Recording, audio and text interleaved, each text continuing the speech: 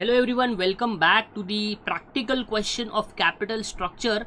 So in the previous lecture, we have covered about the basics of capital structure.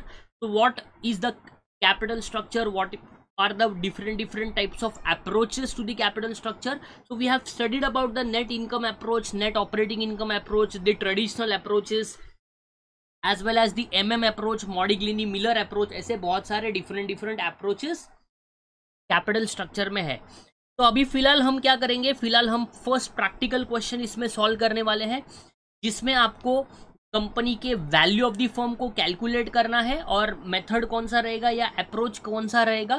Calculate the value of the firm as per the net income approach तो net income basis पे net income approach के basis पे we have to calculate छोटा सा question है, फिर थोड़ा सा फॉर्मेट आपको समझ में आना चाहिए।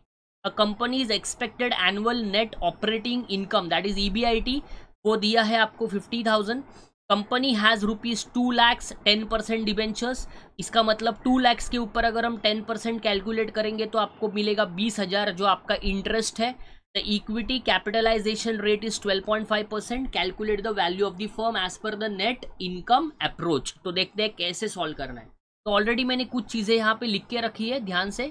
तो सबसे पहले हमें क्या लिखना है? सबसे पहले हमें कॉलम्स देखो कैसे बनाने पर्टिकुलर एक अमाउंट का column statement showing value of the firm as per net income approach जो भी अप्रोच से हम सॉल्व करने वाले वो मैंने यहाँ पे मेंशन कर लिया है that is net income approach first of all we will write net operating income that is called as the EBIT तो नेट ऑपरेटिंग इनकम आपको मिलेगा ईबीआईटी ईबीआईटी की वैल्यू क्वेश्चन में हमें दी है फिफ्टी थाउज़ेंड तो वो मैंने यहाँ पे लिख दी। लेस करना है इंटरेस्ट ऑन डिबेंचर्स देखो इंटरेस्ट ऑन डिबेंचर्स डिबेंचर्स की वैल्यू कितनी थी? टू लैक्स थी.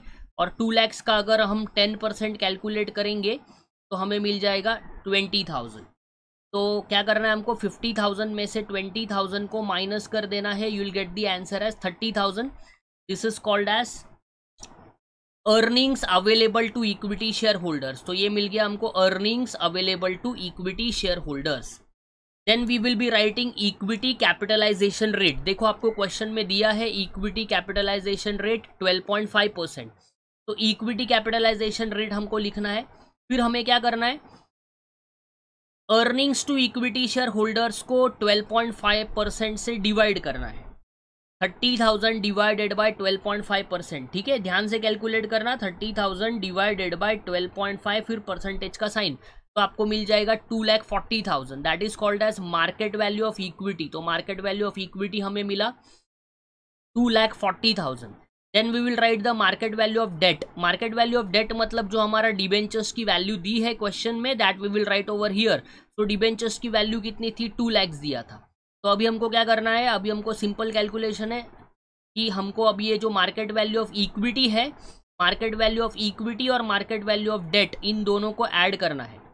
That means 2 lakh 40,000 plus 2 lakhs we will get the answer as 4 lakh 40,000 that is called as total value of the firm तो हम क्या कहेंगे total value of the firm तो we will get the answer as total value of the firm काफ़ी simple calculation है and then we have to calculate this overall cost of capital कैसे calculate होता है बहुत ही सिंपल है जो हमारा ई बी आई टी है ई बी आई टी कितना है फिफ्टी थाउज़ेंड उसको आपको डिवाइड करना है आपके लास्ट आंसर के साथ कैसे करना है? मैं यहाँ पे आपको लिख के दिखाता हूँ। Fifty thousand divided by final total value is four lakh forty thousand multiplied by hundred तो you will get the answer over here as eleven point thirty six percentage तो that is your overall cost of capital तो this is the calculation format is important formula जो हमने calculate कर लिया है, वो format हर question में आपका सेम रहेगा।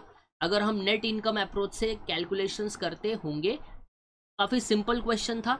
इसी तरीके से आगे बढ़ते रहेंगे नेट ऑपरेटिंग इनकम अप्रोच भी सॉल्व कर लेंगे, कैसे उसके कैलकुलेशंस होते हैं। That's it from this session thank you very much all of you bye bye take care